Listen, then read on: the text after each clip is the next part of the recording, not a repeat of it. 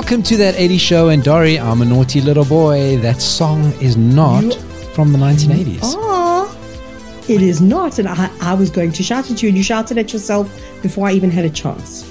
But what's the? I mean, listen, this is our own show. We make our own rules. so, so, we do. That's the best part about it. We can do what we want. so what is the like criteria if it's not an 80s song, but it's a new song by an iconic 80s artist, one of our favorites? What then? I mean, I think that I think that it's all good then. So if you're listening on the podcast, we played Aha's new single, I'm In. Yes, Aha are still making music, and it's, I'm going to say it, it's better than ever. It is better than ever. They have, like, I mean, it's, you've, like, a lot of people listening to the show, right?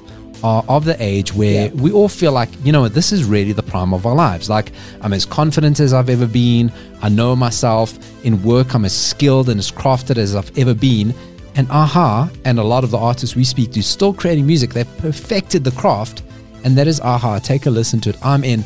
It's just lovely, Dori. It's just a lovely little song. So it, actually gave me a teeny bit of nostalgia, a little bit of like hunting high and low vibes at, in places. Yeah, I think that they done good. They- I think you know, like not everybody can make a comeback. No. What did, did they ever go away? I don't think Aha ever went away No, to they come didn't. back. No, they didn't. All has been there. Um, I had Aha vibes this week. Obviously, uh, pre-pandemic, last concert we go to was the Aha concert in South Africa. Was in a beautiful Yep. park setting.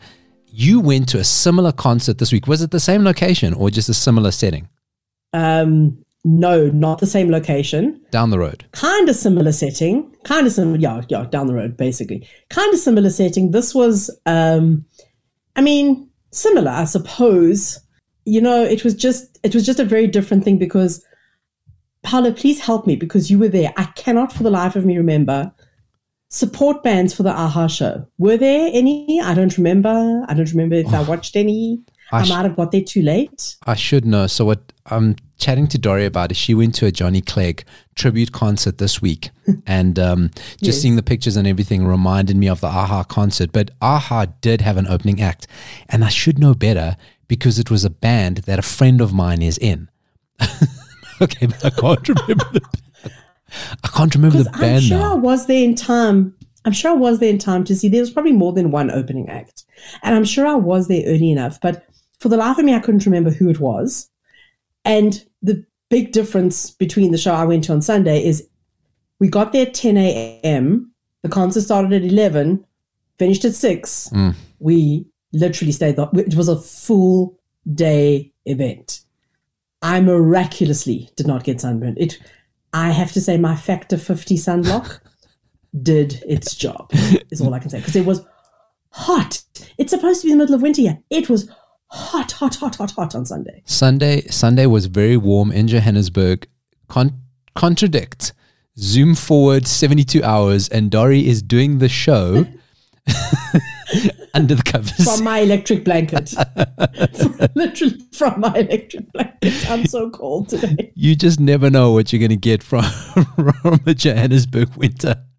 So you go to the John, you go to the Johnny Clegg tribute concert. Of course, Johnny Clegg, one of the all-time Hall of Famers South African music, the White Zulu they called him, and this was celebrating how many? Was it a celebration uh, of his anniversary, or was it just the concert? Right? Not specifically. So what what it is, this concert had been postponed twice before. It was a concert that his his sons were trying to put together just as a tribute mm. because, you know, Johnny I mean, I, I think it is a certain amount of time since he's been gone. I can't remember exactly. But they were hoping to put this concert on in 2020. Okay. And you know what happened Yeah, in 2020. So they had to postpone and then they had to postpone again. So this was like take three. Yeah. But I have to say, OMG. An amazing day. I think everything went off without a hitch. I mean, there might have been things that have had, that went wrong that I didn't notice. yeah. It was a fantastic, fantastic event. Lots of um, also featuring people who we have featured on the show here from the 80s. Yes. eVoid. We spoke to Lucien from eVoid. Mhm. He was um, him and his brother both came out from the UK to perform. I saw you guys Blue, did. not the entire band, but a large amount of Bright Blue got back together to perform. Did you and Barret get a photo with uh, eVoid? Barret got photos with everyone. He is a celebrity hoe. he just kept running up to people and saying, "I want a photo, I want a photo," and I of course had to run after and take the photos because he, he's not he's not a kind of selfie guy. Just just before we get in there, just I just I Um, Yeah, just so need Barret got a photo. before we get there, I need a full thing. All right. So you say he's not a selfie guy. Barret, I mean, this is how true to, to form this guy is. He's still got a little digital camera that he takes his photos with. Oh yeah. a little red one, a little red yeah. digital camera. He asked he asked a random person sitting next to us at the concert to take a photo of me and him with the digital camera, and she actually like looked at it Yeah. like, "What is this?" it's amazing. It's amazing how, like, okay, I can understand a youngster may not know, but you know, digital cameras were so weird because they had just such a short lifespan.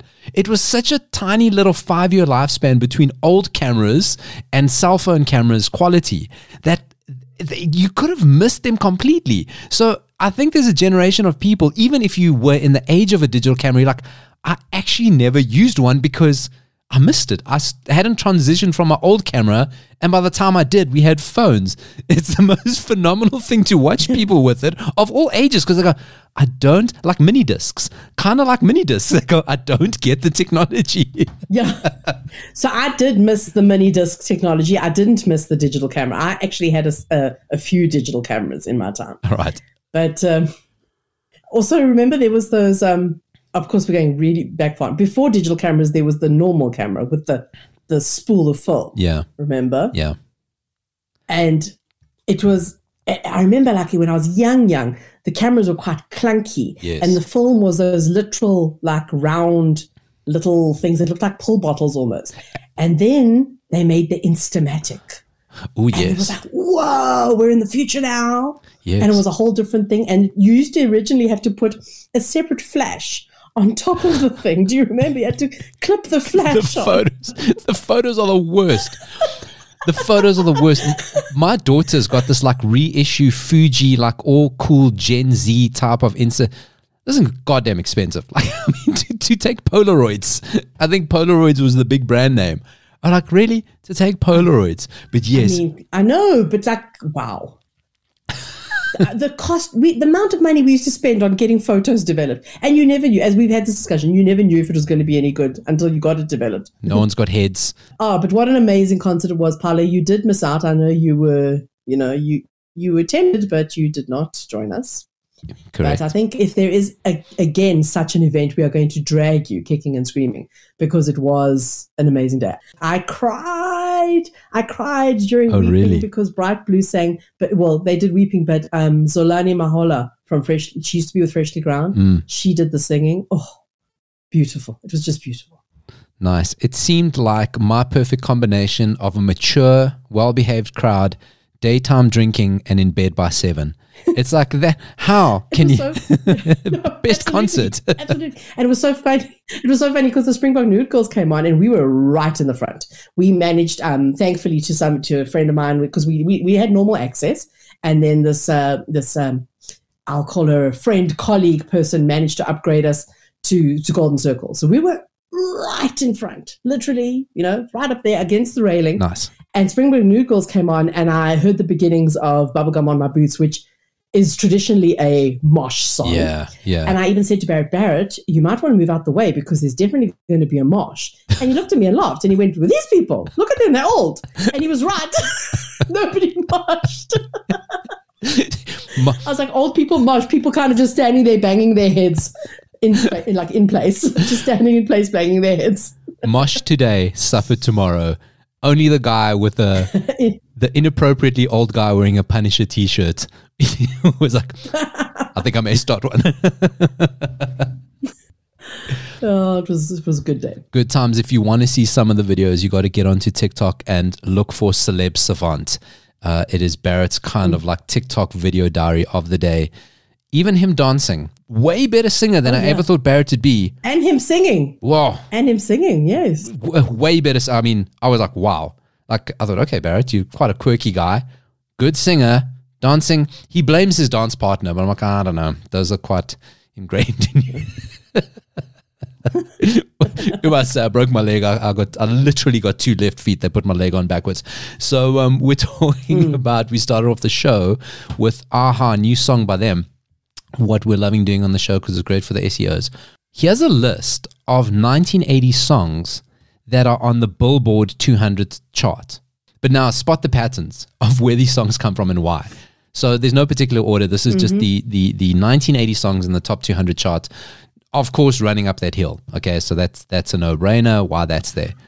Next up, Master of Puppets. Of course, again, Stranger Things phenomenon. Separate mm. Ways by Journey. Again, also used in Stranger Things, which I think was used in the most awesome way. I don't know if you've got that far yet, but um, I've finished Stranger Things, but remind me. Ooh, am I gonna? oh, okay. Stranger Things spoiler alert.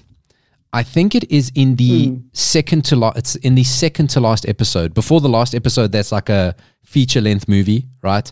They Yes. when when they walk into the house because now it's like the big face off. They play, but they play like this remix. They, they, they they've changed the version slightly. They kind of like Stranger Things did, of and they're playing uh, separate ways as this kind of finale climax song. You haven't seen it, Dori. You gotta you gotta go check it out. I mean, I have. I just it, I don't remember it specifically. That's fantastic. It- But Listen, it's it's I will. Uh, it's like Stranger Things. You know the Stranger Things synth. It's synthed, so you might not instantly know it, but it but it's there. We're we're looking at 1980 songs on the Billboard chart, pass the Dutchie by. of course, Yeah. of course, that's in there. Well, you you predicted that would be the next number one. It hasn't happened yet. I don't think. I told you. Um, I predicted Babooshka by Kate Bush. That we don't rest until Babooshka's back. um, Every breath you take. That's also in Stranger Things. Spoiler alert. That also makes an appearance in Stranger Things. Yes. Um, Yes, I remember that. I don't know why this one popped in. Everybody wants to rule the world. That's also in the, the Billboard idea. Top 200. That's there. My worst song, Africa by Toto. I mean, this one. So, I know you hate it. that's in there. Um, I assume Don't Stop Believing will be in there because you go, hey, Mm. Journey, what are they doing? Oh, he has another song. That's cool. Billie Jean. Billie Jean, Michael Jackson. That's in there. Mm. That's top one, top 200. I imagine there's always a Michael Jackson song in every chart, always. Uh, Living on a Prayer by Bon Jovi. That's Yeah. also 1980 songs in the top 200. And um, when you asked me earlier about Aha and you missed the opening act, I didn't miss the opening act, but I did miss Take on Me. Because who the hell starts with Take on Me? Not me. I'm ending with Take on Me. Take on Me also another 1980 song in the Billboard top 200 song chart. And some of those are in the top 100, running up the hills in the top. I don't think it's number one anymore, but top five, Master of Puppets still way up there. So, you know, like we say all the time, we predicted it. We've been plugging away at this for years. 1980s is more relevant than ever, taking over music, taking over TikTok. Another song, not on the charts yet. I haven't seen it yet. Angel Eyes by ABBA. Right? We spoke a little bit about this last week and it's come full circle. So, Yeah. what's happening on TikTok right now with an ABBA song? Angel Eyes wasn't a massive song for them. There is a, a meme. It's kind of like a nostalgia meme. It's a sped up version of the ABBA song Angel Eyes. People been using it. It's what are some of the numbers here? It the first time that somebody did it, it got almost a million views. Um, there's loads and loads and loads. You just kind of like look for this song on TikTok. You're gonna find loads of videos. It's come full circle because ABBA have done it themselves. Bjorn, Bjorn from ABBA has actually now memed himself with his own song, right? So here's one. Okay. We'll put up on that 80 show uh, SA Facebook page, and it's a shot of Bjorn going. Those shoes went out of style decades ago. Decades ago, they're never coming back. Into a whole cut of him wearing the most ridiculous platform shoes that only ABBA could wear in the 80s, 70s, and 80s. So I think we've got to stop the trend now because once the people who are part of the trend take part in the trend, it's got to end. That's what, it's called the David Hasselhoff conjecture point, right? Because David Hasselhoff partakes in his own memes that he actually ruins them. Yes. But going through this whole ABBA thing, it made me realize, Dori, we never went back to revisit something. Uh, the avatars. Remember that? Yes. Earlier this year, Yes. ABBA appear out of nowhere and they say, not out of nowhere, I mean, they didn't go anywhere. Oh, I want to ask you something about an ABBA song, right? You know, all ABBA songs are about like lost love and men and falling in love and that. Do you think they're all about the same guy, or was Frida just like super? And Frida and Agneta were they just super unlucky in love? But didn't Bjorn write all the songs? He did, but that's what I'm saying. Is it Did about? they even write the songs? no, no. Bjorn did everything. Bjorn invented pop music. Yeah. But like, do you think they were just super unlucky in love? Like it was Fernando. It's like, do you think all these songs are about Fernando? I think that the Scandinavian condition is to be sad, and therefore you can only write and sing about sad things. Okay. All right. Thank you. Thank thank you for resolving that for me. so ABBA come out beginning of the year and they're like, we're gonna or end of last year we say we're gonna do a concert, but we're not gonna be there, right? Because they're all in their seventies. They don't want to be going around. I think it was Agneta who's super Reclusive. she, and and she doesn't fly. She's super reclusive, doesn't fly. So what they did is they kind of like did motion capture. So they were in Sweden, wore the suits, and then these were projected into an arena in London. Okay. They sold Yeah, it, yeah. sold out, sold absolute sellout. And I was like, I wonder what the reviews were. So I went to go look at some of the reviews. This is from The Guardian. ABBA Voyage, that's the name of the show, a dazzling retro futuristic extravaganza. And we gotta know, we're South African kids from the 80s. The word extravaganza, you know, you're seeing tits. Like you are seeing boobs. Extravaganzas only happened at Sun City where it was illegal to be, no, nothing was Yep. illegal. Nothing was illegal. It was illegal to be legal. But there were boobs. There, were, boobs. No boobs here. No CGI boobs anyway. It starts with the visitors, an icy electronic track in which author- this is the Guardian again. I'm not going to be able to read this. Authoritarian agents hammer on the door of a fearful dissident. Not the ABBA you expected to come calling in this trailblazing retro futuristic extravaganza of the show. Lead singer Anni-Frid Lyngstad. It then goes on. I need to say that because it then goes Lyngstad's verisimilitude. What the fuck is that? what review is this? Oh wow, that's a that's a big word. Uh, but I, I I used to know what it meant, but I haven't used it in so long. I don't know what it means. no one has ever no one has ever heard it. By and large, this is loved. They say, you know, it's Tron like outfits, the graphics were great. You kind of forget for a second that it's not real people that you're looking at these like projections. People loved it. Loved it from The Guardian. Uh, another one here from Variety, again calling it an extravaganza, is everything it's cracked up to be and more. And, and more, right? There's not the pictures, you can't make out what they look like. But I also wonder if you could take a photo of the actual hologram, right? Because it doesn't like it's like a vampire. Like you can't take a photo of it. ABBA Voyage review Yeah. from the Evening Standard. Can this be real? I literally could not believe my eyes. Oh, there is a photo here. The avatars are astonishingly real. It's got like the uncanny valley type of look about it. So you can see, because they obviously Okay. don't project themselves how they look now, they project themselves how they looked in their heyday. That's Oh, well, not bad. Wouldn't you? I No, mean, I would yeah. so. Yeah, I would. I'd project hmm. myself when I had hair. So basically, a 13 year old version of myself. it, oh, it does say when they appeared in huge proportions on the big screens, they had the mildest plasticine quality, uh, but otherwise they were astonishingly hmm. real. That's ABBA, Weird. ABBA, the avatars. The avatars. It's like that coming for us. episode of Black Mirror. Did you ever watch that episode of Black Mirror with Miley Cyrus? Oh yes, which Like that. which is like creepily, creepily pertinent these hmm. days. the mm-hmm. the weirdest Black Mirror I watched, I can't get over it, was the one with the two friends who play online games. And the one guy takes the Yeah. avatar of a girl and then they like have a relationship in the game. And then they're like, but they, Yes. it's, it's such, it's such a mind, like most of Black Mirror is such a mind fuck that one. I would like a, I'd like a Black Mirror with uh, ABBA. I'd watch it. Plasticine Fridas. I'd do it. on that 80s show, of course, we like to go back to the 80s and say, uh, hey, movies. They had movies in the 80s. We all remember them. We all love them.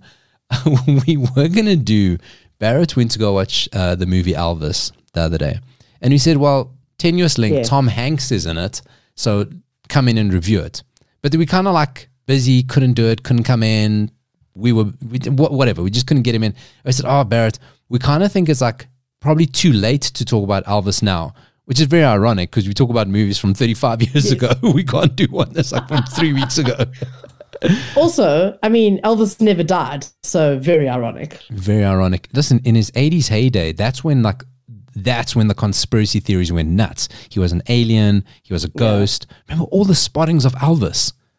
That was because that But was that's Elvis. the thing is that now I think I think we have finally reached the time where even if he hadn't died when they said he died, and he has been alive Hmm. all this time, it's unlikely he'd still be alive.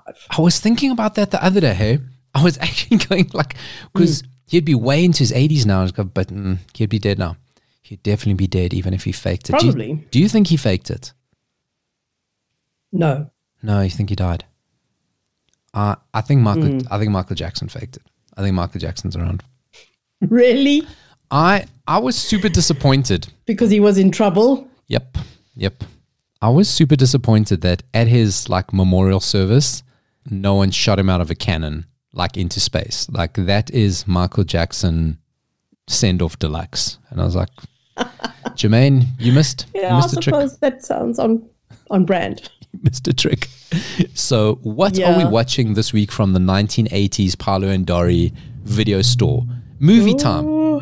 Oh, Movie time, that's what we call it. oh, I I got a treat for you this week. or maybe not. Maybe it would just be torture and punishment and not a treat. Oh dear. Also, it's not a movie, it's a TV series. I had forgotten about it completely, and it came back into my brain because uh, my husband actually downloaded it to show to our teenager who loves it, which I'm actually extremely surprised about because it's the weirdest show. It's one of the weirdest shows that ever existed. And yet, you are. uh, This is definitely, a, you know, a Marmite thing. You either love it or you hate it All right. and it's so so weird. But I, I was like, oh my goodness, I totally forgot about this. And of course, it's from the eighties, and I'm so doing it on the show. I haven't had a chance to watch every episode, but I've skimmed through and I've watched a couple of episodes again because I watched it originally. There are only twelve episodes in the series. It ran from 1982 to 1984, and they there were two seasons with six episodes each. I Right. am almost positive you would know this, Paulo. It is very British. It is more British, perhaps, hmm. than Monty Python. Yet there are many similarities with Monty Python Oh, from wait. the series. Okay, wait, wait, wait, wait. Okay. Oh, I am. oh, there are a lot of options. I don't think we've ever done British. I don't think we've ever done a British series. The one Not I'm that I can think thinking of. it and I can't be believe I have forgotten about this one. really. The one I'm thinking could Yes. be more 70s, not 80s. But yeah, let's let's keep going. What are you thinking? No, I, I I'm being lazy because when you said Monty Python, I was like, is it not the nine o'clock news? But that was not purely 80s. No, no, no, no, no, no. No, and this is like I say, only twelve episodes, and then that was the end of it. So I think not the nine o'clock news ran for much longer. Mm, mm. This doesn't have any of the Monty Python people involved. I'll tell you who created this. This series was created by Rik Mayall, Ben Elton, and Lise Mayer. Oh. Rik Mayall is one of the stars. You had me this at show. you had me at Ben Elton. you had Yes. me at Ben Elton. Indeed, indeed. I mean, I've read quite a few Ben Elton books, and they are excellent. Outrageous. but I still think this might be the pinnacle of his career. This was an incredibly strange, weird series called The Young Ones. yes. Oh my god, it is. Yes. If you have never watched it, it's safe to say you've never properly laughed. Oh my god! Is that or, fair? Or you're going to watch it and you're going to watch it in horror and not laugh at all because it is beyond silly, and it is quite. There's a lot of surrealism in mm. it. There's puppets, which is where the similarity kind of comes in with Monty Python. The silliness, the puppets, the surreal, bizarre, weird things that happen. I mean, one of the things that stands out for me from Monty Python is the big fat guy in the restaurant who explodes because Yes. he eats too much Yes. and he explodes after eating a wafer thin mint. And it's that kind of humor. It's very, very similar. There's also that kind of vibe to it. Mm, mm. But, but I mean, it's just like I say, I'm amazed that my teenager enjoys it because it's very retro. Yeah. It's very dated in a good way. It's very British. yes. They don't watch a lot of British stuff, but yet this has been a hit in the household. And you know, when when it came back into my brain, all I could remember was an episode called Sick. I don't know if you remember that episode where No. the one house. So basically, it's it's it's it's, it's four housemates Mm. who are like supposedly students in some college, but it's called like scumbag college. Yeah. It's, it's not like a.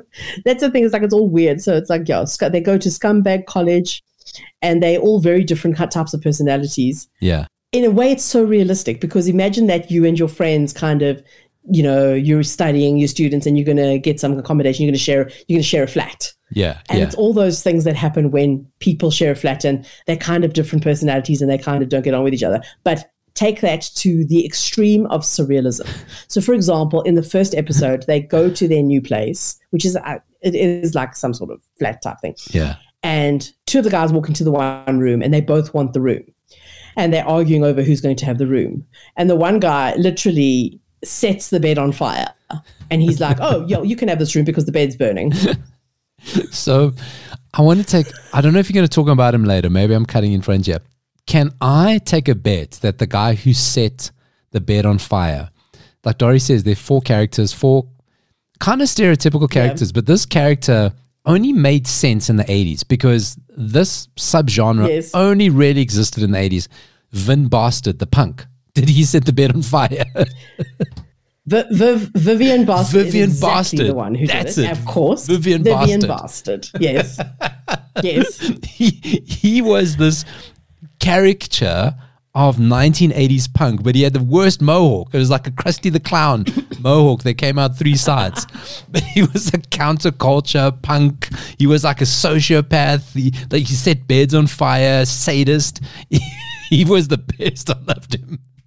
But it's like bizarre. So there's an episode called Bomb, and they wake up and all of a sudden, for some un- unknown reason, there's an atomic bomb in their kitchen. it's never explained how it gets there.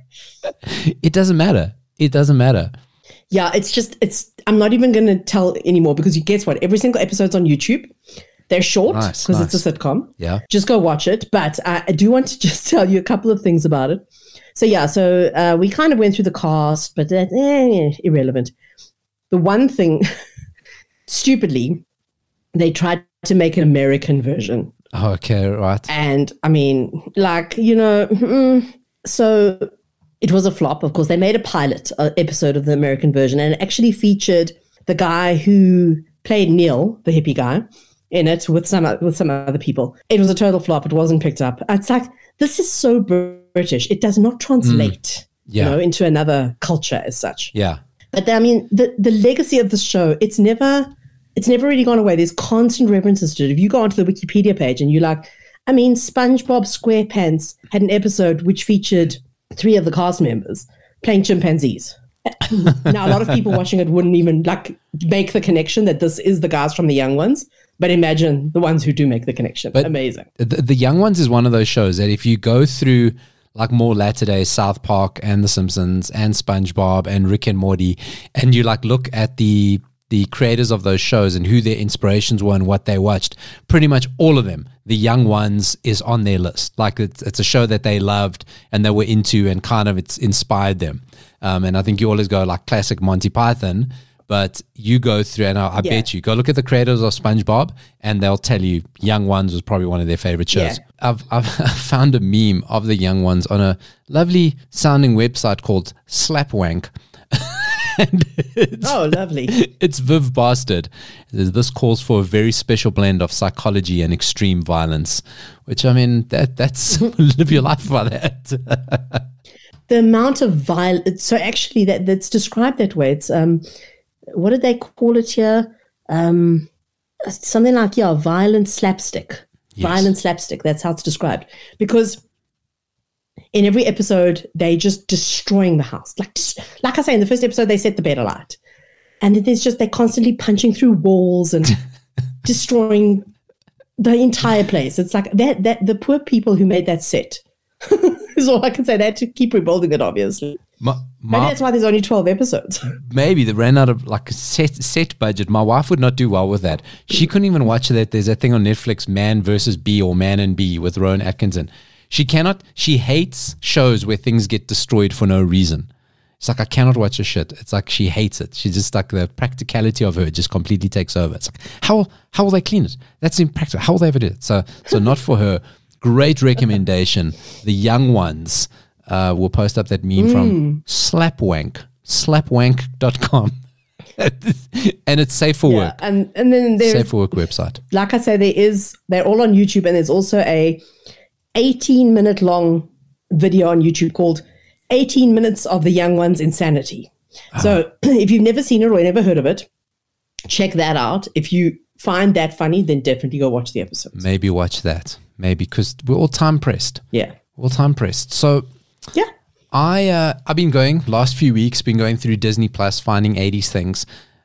This is not paid for by Disney Plus, this segment. This is just us. And why? It should be, damn yeah, it. exactly. Why are we not getting paid by Disney Plus instead of I'm paying them?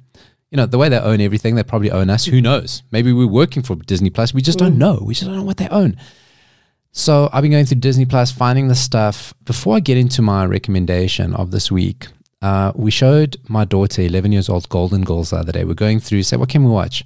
We stumble upon Golden Girls, right? So we kind of get into pilot episodes are always weird. They're kind of establishing, it's a couple of cheap gags, which is kind of Golden Girls. She's like not really that interested, kind of like finds Betty White's a little bit funny until Sophia comes onto the scene. Now, now she's like, picture oh, yeah. this oh, Sicily, course, of 1912. Like, she loves Sophia. Um, Sophia was always the favorite when I was younger as well. Absolutely. God, so she like she's like, no, this this lady is too much. Always walk around with a little purse, never puts it down. No matter what she's doing, she's got a little purse. what? So we're going through it. What reminded me is like, oh my god, that beachside condominium that they live in. What an '80s fucktastic palace is that place? Totally. Blanche's bedroom has got like palm leaf motif on the wall, like it's pink carpets. It is, it re- really, we're talking about sets. That condominium should like have its own name in the credits. That place must have cost a couple of million dollars, even back in the 80s. That place is huge. I think they're in Florida. That place must have cost a damn fortune. Yeah. Uh, what a beautiful place! Yeah. Like, that is '80s deluxe. So they, they, you know, we, we often talk about beautiful '80s places. Golden Girls house. I mean, a huge house on top of it. Huge house on top of it. I don't know if it was beachside. Actually, not sure. I can't remember if it was beachside. I don't think so. No. So going through Disney Plus, looking for 80 shows to watch. I see something. I, ah, that's a movie. That's an 80s movie. I'll watch that. So I click on it. The eyes aren't so good. The, I kind of see the poster, see the name. Oh, cool. Click on it. Ghost. Ghost, the horror.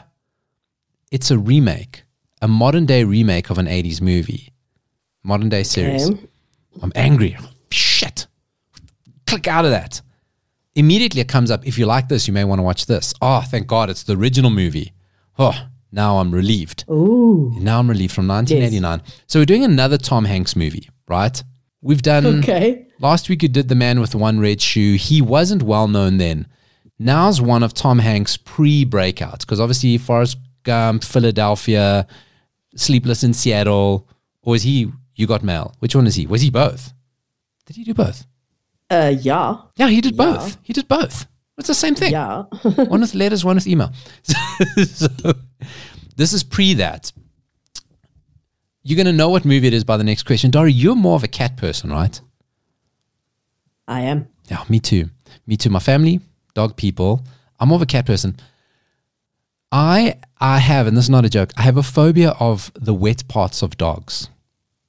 Like their noses. Oh my god. The image that has just come to my mind. Oh my god. I know. Noses, mouths, eyes. It, it freaks me out. I, I, I'm, I'm scared of it. I'm scared of it. And like, that's what dogs are. They always want to put those on you. I'm like, oh, fuck. Like, and people think, oh, you don't like dogs. It's like, I, I like, like, they're wet. Can we not have this wetness on me? Like, I'm, I'm afraid of it. They're wet and they and they want to put their wetness all over you with their paws that are often muddy, Yeah. which also, which is also wet. It's, it's constantly, So, yeah. constantly. Yeah. So, like you and I are both cat people, not those cat people, not from your movie cat people. We're not those. No, we're not from a few weeks ago. We're not those cat people. No, no, Okay. no. not those. So, dog's wet parts. So, in this movie, the first time you meet the dog in this movie, maybe not the first time, but the first like major scene you remember of it, this dog comes running and his mouth is flapping back and all the slobber is flying. And there's so much wet dog parts being exposed. I know exactly what movie it is. All of them. All of them. That it was Turner and Hooch. Turner and Hooch. Turner and Hooch. A different take on buddy cop Turner- movies. I remember seeing Turner and Hooch on the big screen, and that scene with the oh, dog and the slobbering Oh, no. was hilarious. Hilarious. Oh, no, I, I, I've never forgotten it. Oh, how could you have watched that on the big screen? Oh, it was funny. did. It was the 80s. We went to movies all the time. That was the movie. Oh, because that's because then, then Tom Cruise, because I mean Tom Tom Hanks is walking with a muffin to now make friends with the dog, and the dog jumps him and just like holds him down by the neck till the owner comes away. He says, "You barely broke skin. Don't even worry about it." So the movie is And then there's another scene where, like, yeah, they're, like in the car together. yes, And the dog's Oh. just slobbering, and he makes some funny comment. It was so funny. it's not just slobbering. He leaves the dog, and the dog eats the car. He eats the car, Dori. Yes. Okay, Yes. I mean, like, so the movie's Turner and Hooch. It's a buddy cop movie, except with another like angry, disgruntled older cop. It's a dog. So the the owner of the dog gets killed. The dog's the only witness. now they, the dog helps him solve the crime, right? Um, the dog is destructive as shit. He is. It's what it's called a dogue. Uh, what's the name of the the breed of the dog? Uh, a, the breed of hooch is a dogue de Bordeaux, a French Mastiff. Huge, monstrous dog, like just the biggest, right? It's like a French bulldog. But- it's like a French bulldog, right? Very similar. but like on steroids. And so many, Yeah. so, I mean, and his wet parts are big and wet.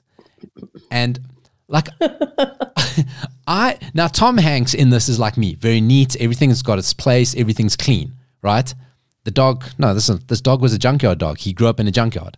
Okay. So he doesn't, this is not the way he operates and he destroys everything. I don't find that funny. Marley and me, not funny. I don't find for Beethoven. I don't find it funny when dogs destroy Yeah. people's houses. It's not humor to me. it makes me uncomfortable. okay, I don't like it. So this movie was hard for me to watch. Lots of dog wet parts, hmm. lots of dog destroying stuff. Prime Tom Hanks. Now, it did quite well. Popular movie, people still talk about it. It's on Disney Plus right now. Tom Hanks feels you may now Dori's seen it. People who've seen it remember very traumatic. Tom Hanks feels because of the way it ended. That's why it's not more popular. He feels if the ending was different, this would be one of the all-time great dog movies. But because of the way it ended. I don't remember the ending. Are we? Are we? Oh. Are we going to give a spoiler? I don't remember it. should we? Okay, Don't tell me the dog dies. Does the dog die? so think about a world where you now go. You're a family. What movie should you watch? Oh, Tom Hanks. Oh, he's he's lovable. Love him. Saw him in the Burbs. Love him. Tom Hanks, Boy Next Door. This is the best. Look, I kissed a mermaid. Tom Hanks loved a dog. Who doesn't love a dog? Best movie, family, children. Let's go watch this movie. Oh, the dog's running. The dog's this. The dog's. Oh shit! My children aren't oh. sleeping tonight.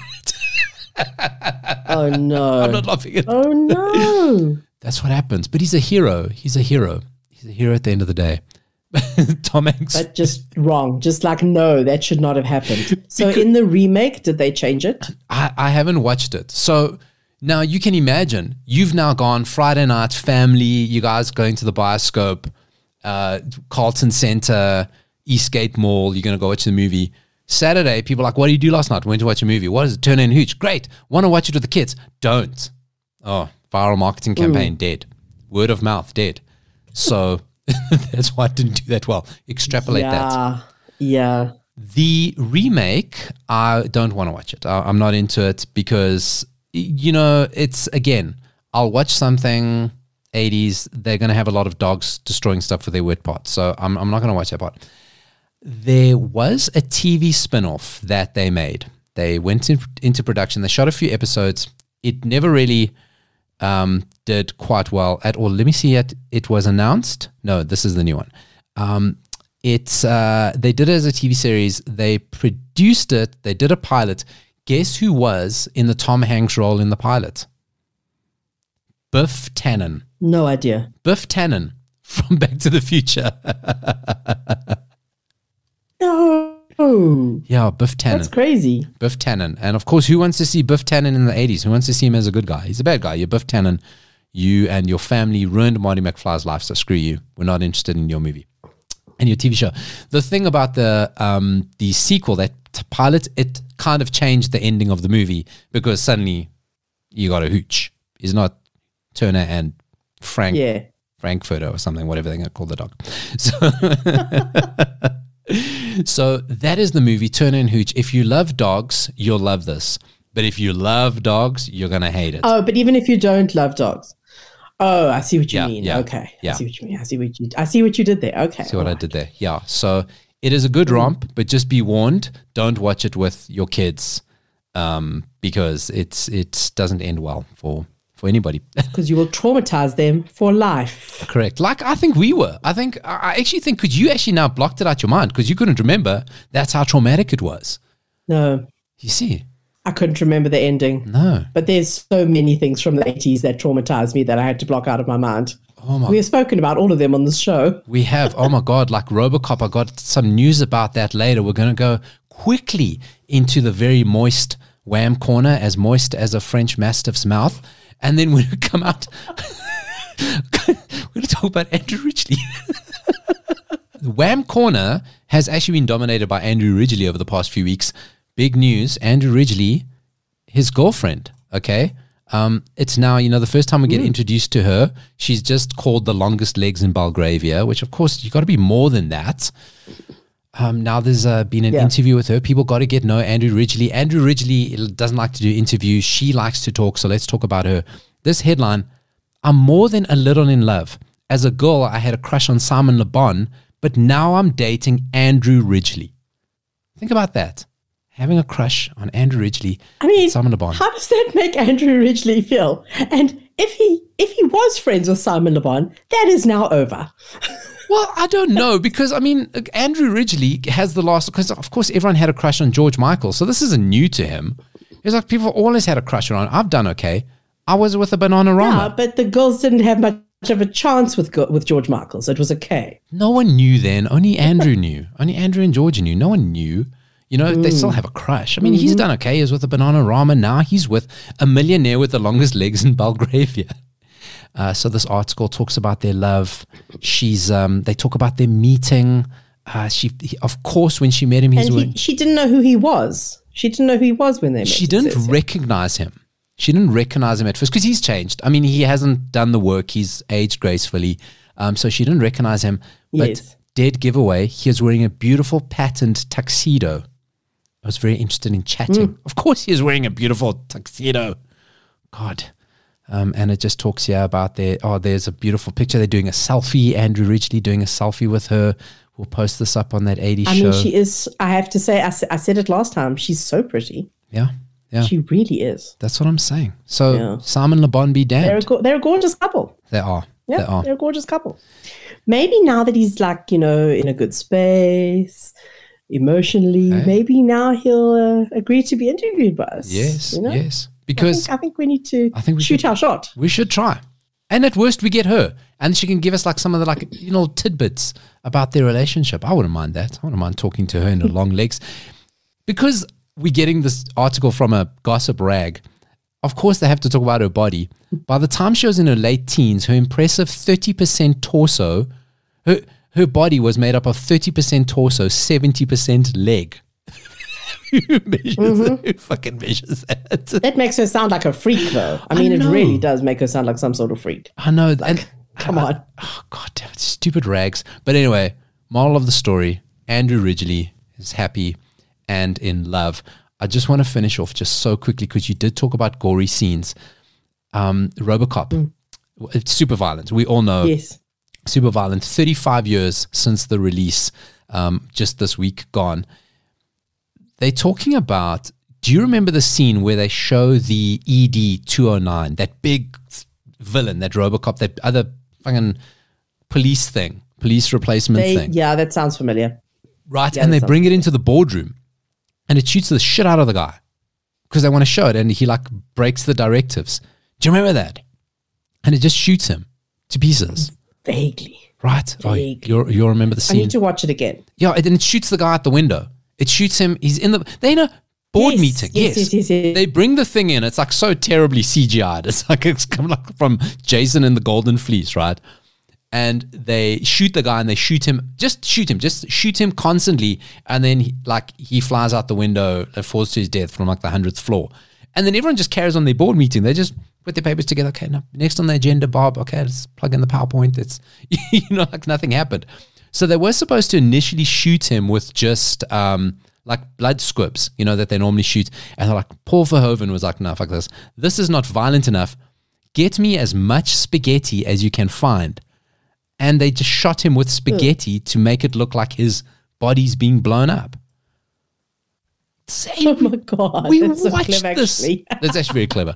We were children watching the story. How does one explain it?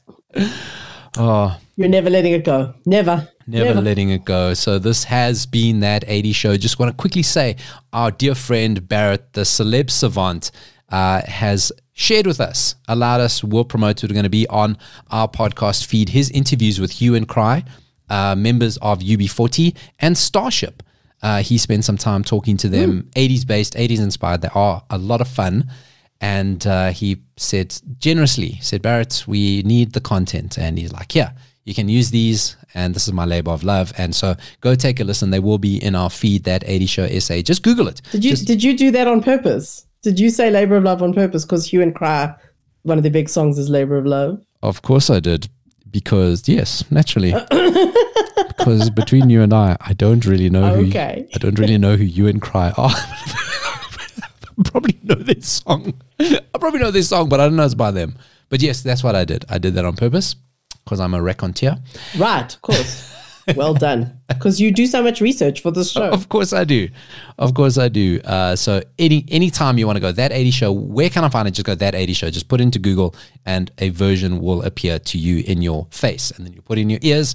And then Dorian, I will get three cents, which we won't, but it's nice to dream. And then Disney will buy us and make a remake of Turner and Hooch, except I'll be Hooch and I'll be a man. And no one will watch it, but I, maybe I'll die. I don't know.